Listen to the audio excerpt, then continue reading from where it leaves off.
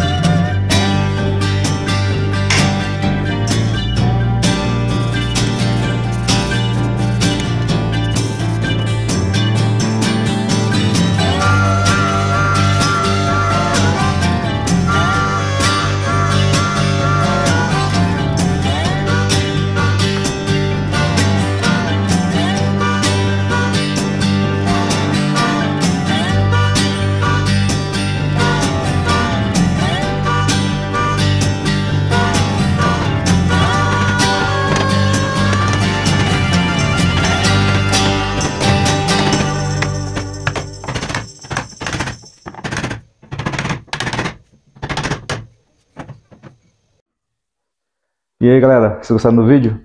Se você gostou, dá seu joinha aqui embaixo, se inscreve no canal, vai me ajudar bastante. E para quem quiser fazer aí, é um projeto aí de custo quase zero, dá para fazer com ferramentas manuais, para quem quiser, e a criançada aí vai adorar.